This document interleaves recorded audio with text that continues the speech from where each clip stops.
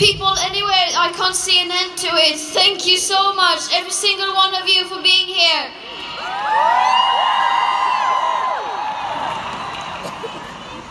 And I'm so happy to be here in Bristol with all of you.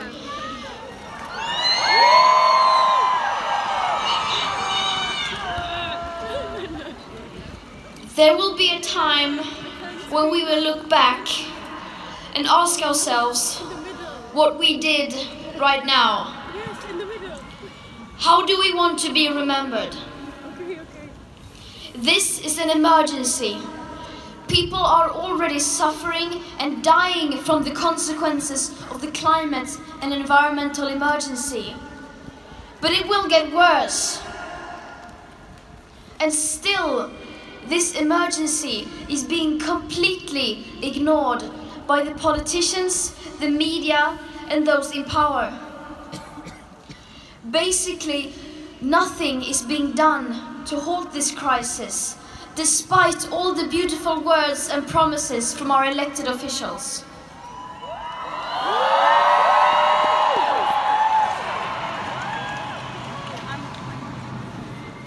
So what did we do during this crucial time?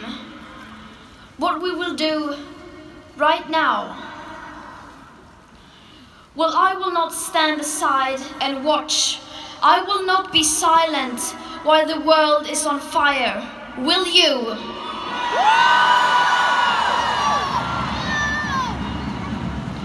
World leaders are behaving like children. So it falls on us to be the adults in the room.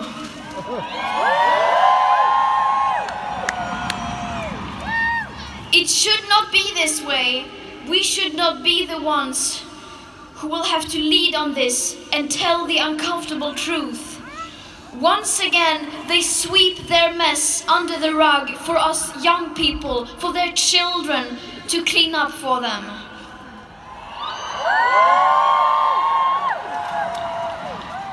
But we must continue and we have to be patient and remember that the changes required will not happen overnight. Since the politics and the solutions needed are still far from sight. But if enough people are pushing for change, then change will come. And we are those people. And every single person counts.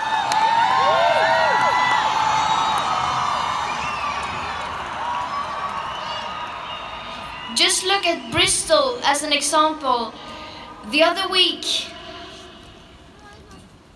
the plans to build, to expand the Bristol airport were cancelled. A lot thanks to climate activists.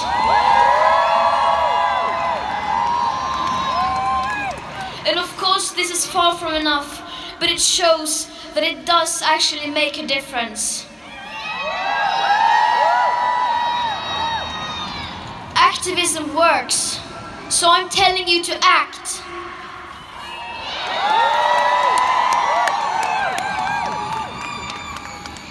If you look throughout history, all the great changes have come from the people.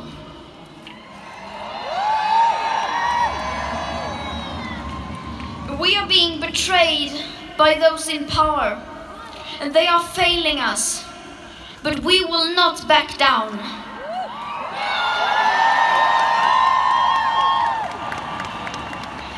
And if you feel threatened by that, then I have some very bad news for you. We will not be silent because we are the change and change is coming whether you like it or not.